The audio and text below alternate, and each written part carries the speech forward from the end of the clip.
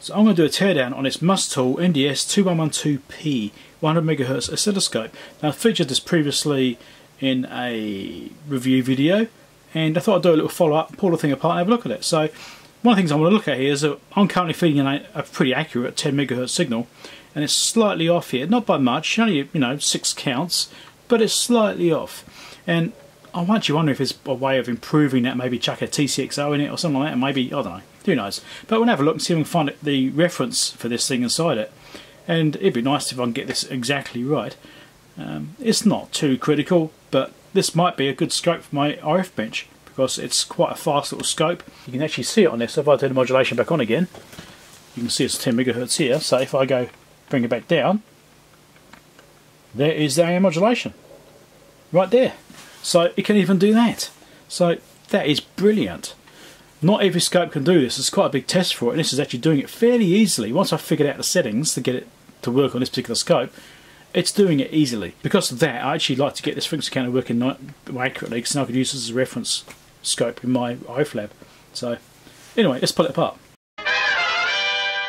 So it looks like it's very similar to any, well, many other scopes. We have a couple of screws on the bottom here by the feet four screws here and there's a couple of screws up the top of the handle as well so we'll get these out these actually inserted screws. There's some metal inserts in there which is nice. Shows a little bit of quality actually. It's quite good. Prefer metal inserts rather than just straight into plastic. They're just slightly nicer. And then we've got a couple of screws up here behind the handle as well which is like to drop the handle down slightly. And we can get into these. Also metal inserts for the feel of it. Yeah, we've got to get that I'll tip it down more so I can get the screw out. Okay, here's one. Looks like all the screws are the same. This one, and then hopefully that'll be all there is, and then get the thing out.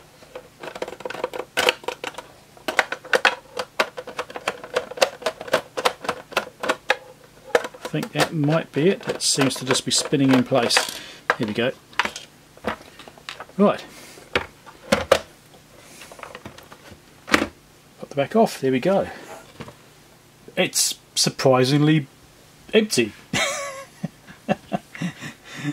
Okay, so you got to be front end stuff in here because that's the BNCs there come in. So this is the cover for the input side. So there's adjustments here, obviously for the compensation and stuff like that on it. It's actually got a bent cover here. Shouldn't really matter.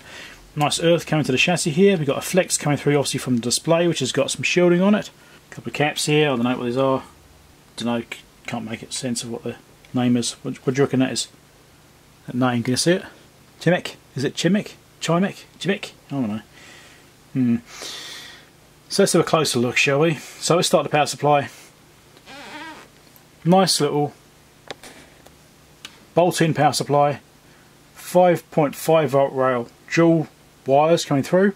So 5.5 volts coming in. So that's a 5 volt supply. Really simple. Brands Ice was it Ace She? Aishi brand. I've seen those in other things as well. Think I've seen those in Siglents actually. Yeah, these are the same. So it's obviously a the shelf kind of module, and they've probably just shoved it in there. I'm guessing. I don't know. It could be built to order. Um, so at least it does actually have a proper earth coming through to the main chassis here, which is obviously getting going straight to the BNCs. So these are putting a bit of heat. I can actually feel heat on the top of the case when I was using this thing. It is above this area, so also the heat from these is um, coming through. There is no fan, so it's silent. No fan is a good thing and a bad thing. Silent, but also means that you get a bit of a heat build up potentially. Yeah, it is still warm. I've had this thing off for about five minutes now. And it's still a bit warm there. So maybe it would benefit from having a small fan put in there. Maybe you stick a little 5 volt fan there maybe and just have it blowing through. Just something really small and quiet. Certainly possible. So what we've got here is fast chips go. So you've got some Samsung memory uh, system. Yeah, I'm not sure. Don't know what that is. Don't know what this is. I should look these up actually so I can find out what they are It's probably a flash or something. This is like some kind of processor. Obviously got some main processing under here. That's probably a power supply section or some kind. Not quite sure what that is. There you go. Makes sense? I don't know. AZ1117 is it? Is that a MOSFET? I think it might be actually. So this chip here is an AM3352BZCZ30. Get that? And this board here won't be too interesting. This is just the keyboard section and the encoders and stuff like that. So it's obviously coming through this little ribbon over here into the side. this is probably acquisition and um, sampling over here my guess behind firmware etc over here it's surprisingly simple well empty surprisingly empty really it's not simple because I don't understand it but yeah it's yeah simple so you can actually see from over here it's actually a fairly new design. This is August 2018 so it's only two years old this design. So this is actually I think why it's performing quite well compared to the other uh, low-end scopes I've been trialling because it's actually a newer design and it's obviously been refined somewhat and it's working quite nicely. So it's pretty impressive actually. Got some headers lying around probably some programming headers and UART stuff like that I've got no idea. Down here we've got some power supply I should point this out got some MOSFETs down here some obviously smoothing caps and some other discrete stuff over here. So we've got some inductors and stuff. So there's probably some booster converters over here maybe as well to generate various supplies for the rest of the circuitry. So this processor here is apparently a ARM Cortex A8 processor by Texas Instruments as you can see the logo in anyway. And it's apparently it could actually be up to 1 gigahertz speed. So that's impressive. I mean, it could be anywhere, sort of 600 to 1 gigahertz or so. Apparently, it could be anywhere in that range. Um, I don't know how, to identify that in particular chip here with the configuration, but I think it depends on the voltages supplied to it and stuff like that as well. Some kind of configuration options you can change it, I think. But I think it's up to 1 gigahertz, so it's a fairly speedy little thing. So I thought I'd pop this guard off here over the back of the input section and see if we can see anything interesting in there. I thought, why not? We've got plenty of time to play with in the video, so let's pop it open. Let's try and lift up each side like this, heat this up, and hopefully it takes two sides off and that should be enough with a bit of luck. We shall see how we go. I might have to put some fresh solder on it to make it pop off, but we'll give it a try like this. It's kind of wanting to go, but not. Got to do it in two places, it would seem. So I've got to do it over here as well. There's that side off. We'll try 28 over here. Here we go, now it's lifting. Right, so that's those off.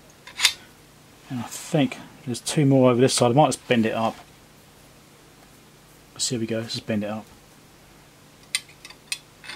Should be fine. What could go wrong? And there's the input section. It's not too bad a view, I suppose. So there's the BNCs coming in over here. And basically parallel designs versus this one. They're not exactly the same. So start with different orientations over here the circuitry. So over here it's a little bit different. So it's not the same layout exactly. So you see it's similar. But here you've got this capacitor going off, obviously DC blocking and stuff like that over there. And then this one goes this way. And then there's obviously interesting layout just here which comes up. Looks like there's a footprint which isn't used. Maybe it's 50 ohm impedance sorry, 50 ohm impedance option or something like that, I don't know. But it's obviously not there. It's like a relay footprint which isn't populated. Other bits which aren't populated in there, not surprising. Maybe it's used for um, the 200 megahertz version or a different version of this unit, high bandwidth or something.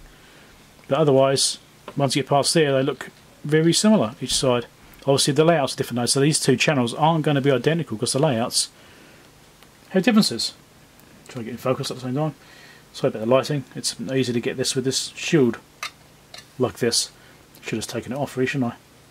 Anyway, there you go. Maybe it'll be useful to someone one day seeing a close-up of what this is. Maybe. Yeah. Better lighting. That's as good I can do. Right. Cool. Done. Done did. Right, let's put this thing back together and hopefully it all still works. I've already resoldered the, can back on and um, let's get this back in place like this kind of. It doesn't quite want to drop on. Why doesn't it want to drop on? There we go. Right. All very nice. It's actually not a bad unit. Actually, I'm actually surprised. It looks like it's well constructed. I mean, there's a bit of flux residue on that other board there. You know, that's not cleaned off properly, but the other board, main logic board, was fine. It's it looks right.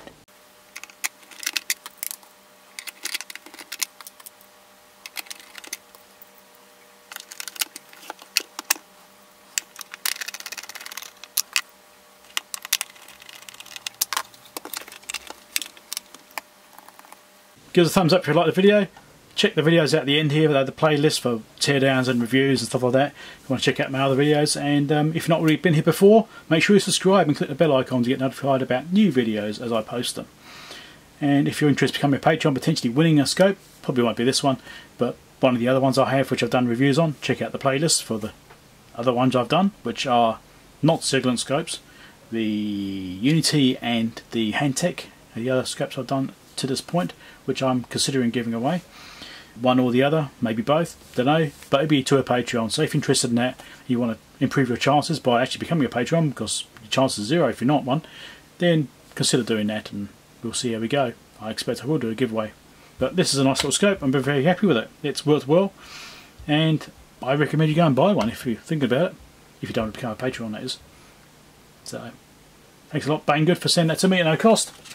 As I said before, thank you very much, and I'll catch you next time. Bye bye.